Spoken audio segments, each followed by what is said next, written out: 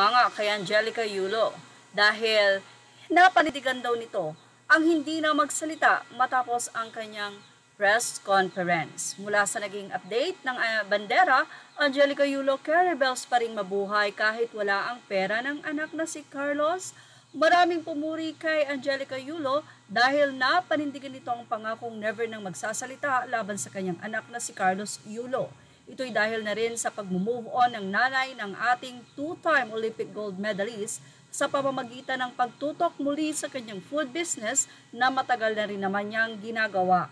Pero syempre, kung may mga natuwa at bumilib kay Angelica, meron pa ring nagnenega at nambabasag sa kanya. Lalo na yung mga fans ni Carlos Yulo na hindi pa rin makapag-move on sa alitan ng mag-ina.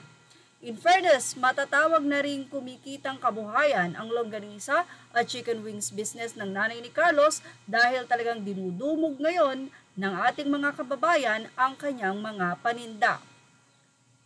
Kamakailan lamang at dito lamang ay nagpost pa si Angelica Yulo na ilang kilo ng longganisa ang sold out sa dami ng orders. Nagpasalamat din si Angelica Yulo sa mga sumusuporta sa kanila.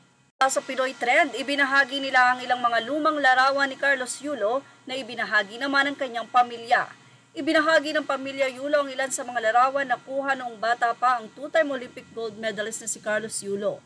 Lumaki si Carlos sa Leverisa, Manila kung saan ito natutong nag-umpisang mag-aral ng gymnastics. Hindi noon maituturing na may kaya ang pamilya ni Carlos kaya todo ang diskarte noon ng kanyang mga magulang para makaraos sa pang-araw-araw. Nakikitira lamang din ang pamilya Yulo noon sa mga kamag-anak nila.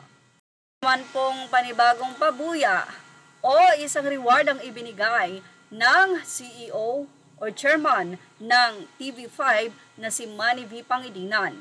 Another 10 million for Kaloy mula sa Philippine Star, Filipino businessman and avid sports patron Manny V. Pangilinan awarded two-time Olympic gold medalist Carlos Yulo 10 million pesos, while bronze medalist Nesty uh, Petercio and Ara Villegas were to receive 2 million pesos each. Wow! Yulo's coaching team will also be given 5 million pesos and 2 million pesos will be gifted to the boxing coaches.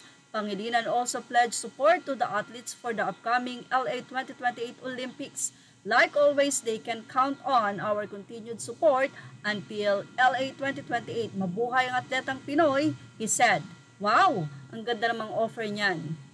Grateful po talaga sa naging journey ko. Thankful sa sarili ko uh, thankful sa sarili ko rin and kay Lord of course hindi ako pinabayaan. Yan ang buong pasasalamat ni Carlos Yulo na naging update naman po ng GMA Sports.